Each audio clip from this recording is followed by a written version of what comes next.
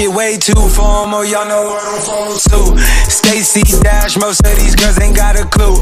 All of these hoes I made off records I produce. I might take all my exes and put them all in a group. Hit my essays, I need the booch.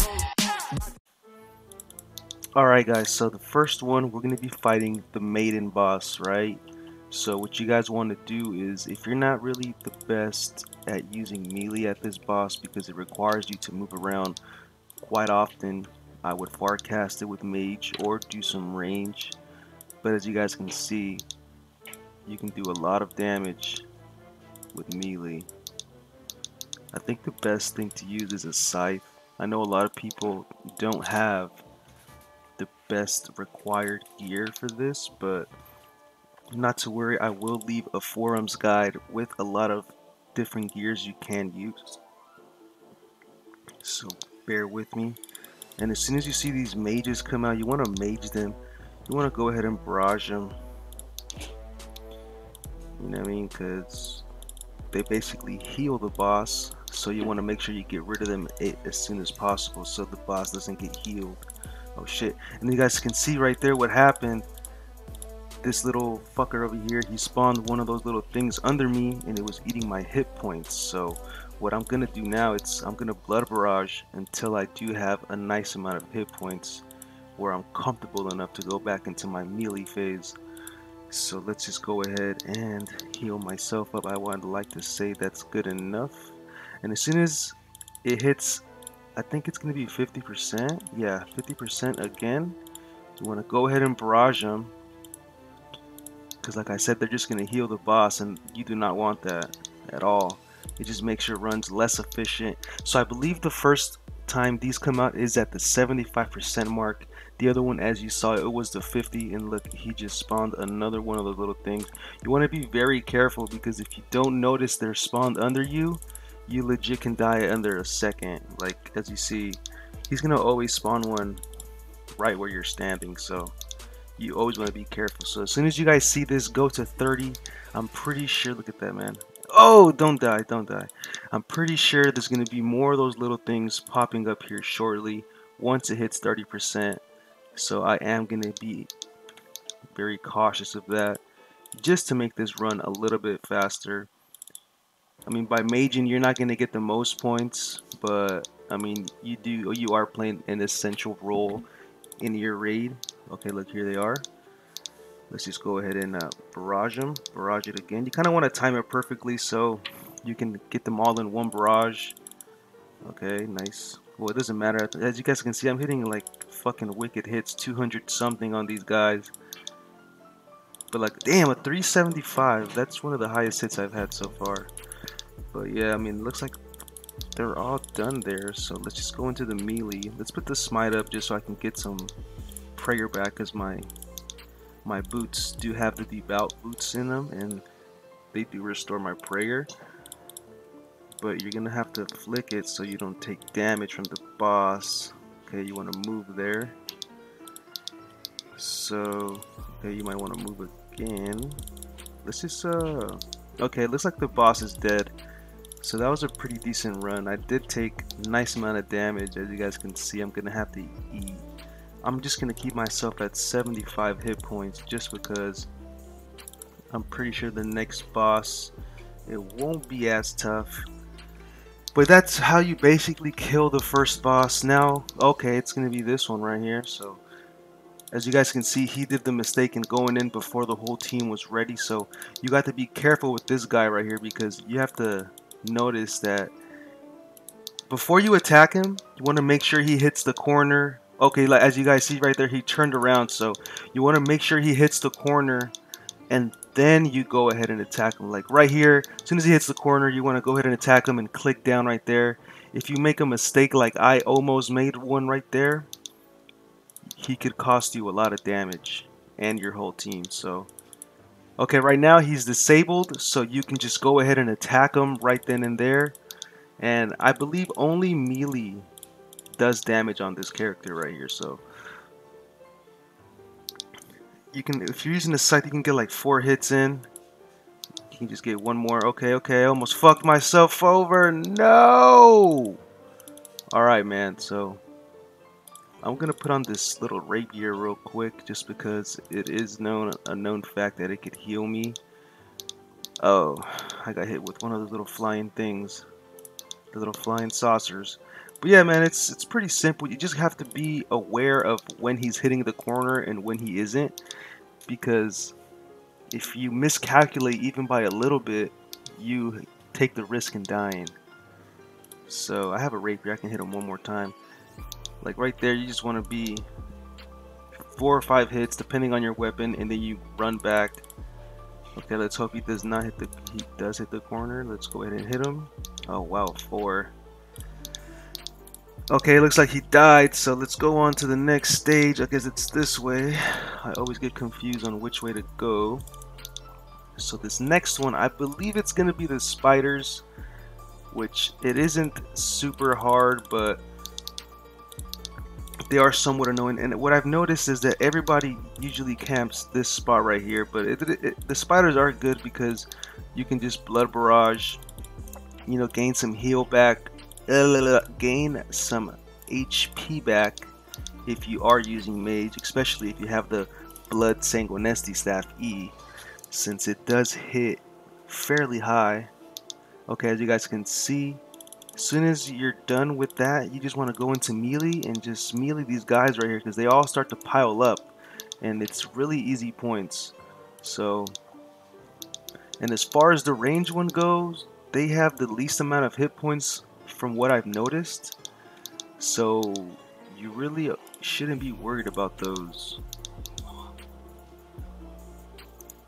And excuse if you guys hear anything in the background. Uh, they're currently doing, they're currently uh, doing something to my bathroom. They're, uh, how do I say it? A little bit of construction going on. So if you guys do hear a couple noises in the background, I do apologize. But hey, upgrades are always nice, am I right? So, let's go ahead and let's just fuck up these melee men. I don't want to wait for him to come to me. Let's just fuck him up.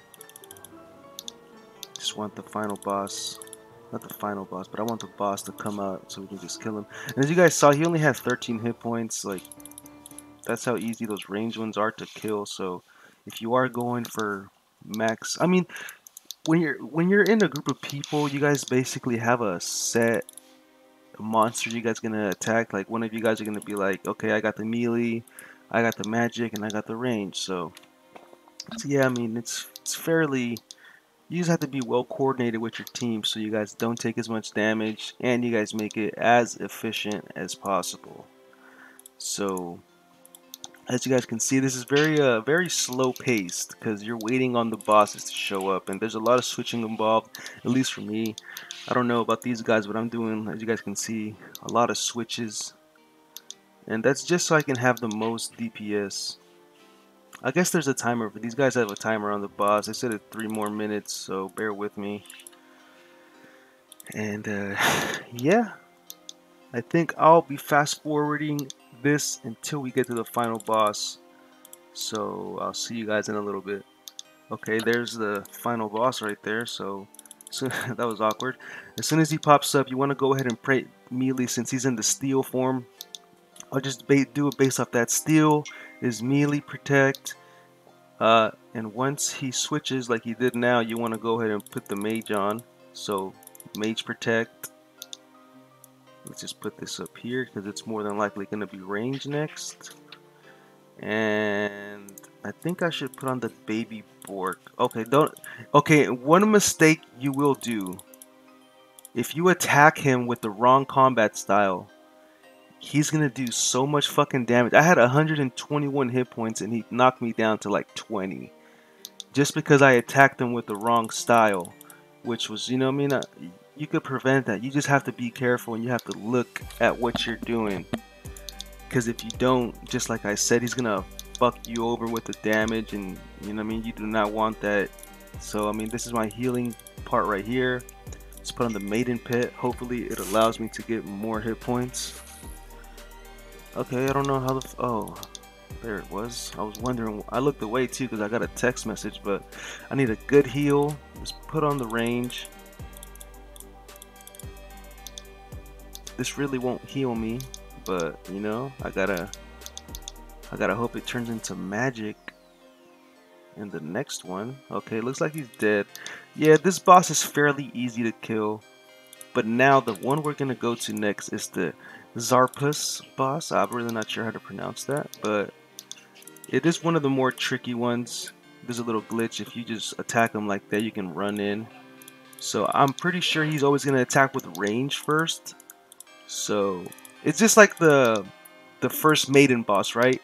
Every couple of hits you're gonna want to move so those little hit splats do not hit you.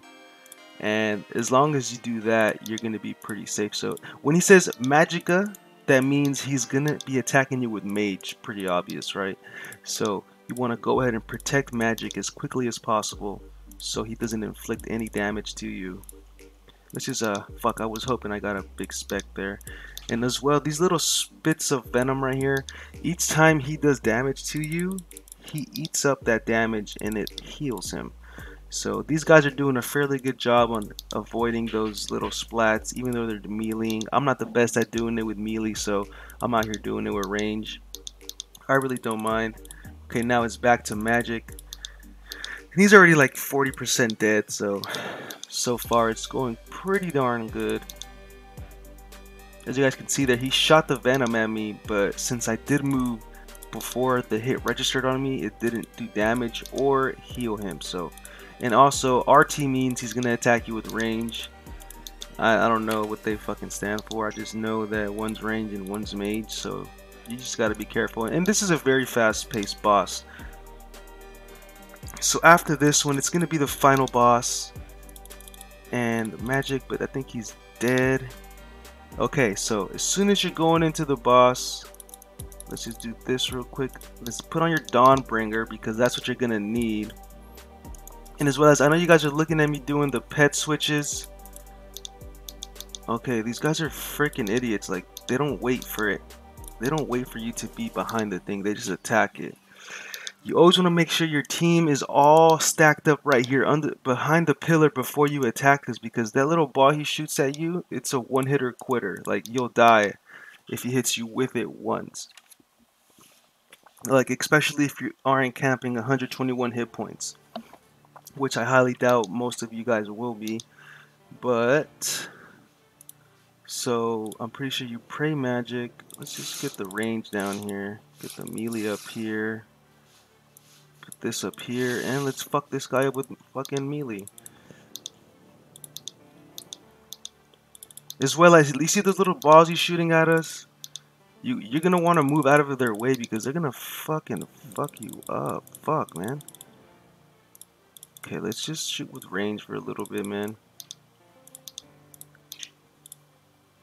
Oh, I ah, come on, man. Can't even do the guide now. So let me just put this thing on full screen real quick so you guys can see what they're doing right? Let me see. That's just me being uncareful. I had a bruise and I could have you know what I mean? I could have healed myself but I just didn't want to. And especially when there's people all around you like you want to make sure you don't run into their little things he's shooting out. So he shoots one out you move one step. And this one right here let's say if he's choosing to focus you, right? You basically uh, pray melee first, and then you quickly pray range because he's you're basically tanking both hits, right? So that's what he's doing, as you guys can see. And as well as the last boss, RT means it's going to be range, and Magi, uh, Magia means it's going to be magic. So he's praying melee and mage now. That's what he's doing. So, and yeah, I got fucked over because, like, come on, dude, I'm doing like six ways into seven ways with my melee and my other kind of stuff like that. So, it does get confusing, especially I haven't done raids in a while but it is what it is. I will get back to you guys when the new phase does come out. At the moment, it's just repetitive shit. You can just be praying range and you're not going to be taking any damage. Pray mage, you won't take any damage unless you're tanking. And it looks like I'm the only one that died, which is pretty sucky. I didn't even get 10,000 points, so I don't think I'll be getting a boosted drop rate bonus. But it's all good. Um, so yeah, in a little bit you should be seeing this boss spawning little waves of magic. And I'm pretty sure they take your hit points and trans transfer it over to his. Oh, they killed him already, so I'm free. Let's go ahead and pass to the barrier. I think one of them had the Tekton pit and he just died. So let's go ahead and wish me luck. Good luck to everybody. Let's see what they got. Nothing rare, nothing rare. I died and I got the Relic of Blood Theater, bro. Let's fucking go, man. That's what the fuck I'm talking about. I fucking died and I got the best drop. So, with that being said, guys, I hope you guys did enjoy this guide. And you know what? I'll be hosting this Relic of Blood Theater as the giveaway plus $50 in bonds. So make sure you like the video, subscribe to the channel, and comment your Spawn PK in-game name. Turn on that bell notifications. And with that being said, I hope you guys did enjoy. Alright guys, this is for the giveaway part of the video. I'm going to be announcing the $50 giveaway winner for this video right here. The PKing with the Cursed Vesta Longsword. I already copied the source. Let's go ahead and enter the URL. Let's get the YouTube comments. 87 of you guys. Good luck to that one lucky winner. The winner is in the game name Tim I will be adding you. You can PM me whenever you have the chance, and I will be giving you that $50 in bonds, fam. Like I said, guys, there's a $50 giveaway on this video. The blood, the Relic of Blood Theater as well, which is worth well over 3 trill at the moment. It's 3 to 5 trill. So, in order to win that, you must like the video, comment your Spawn PK in-game name, and subscribe to the channel. With that being said, guys, I hope you guys do enjoy. Peace. Drop it.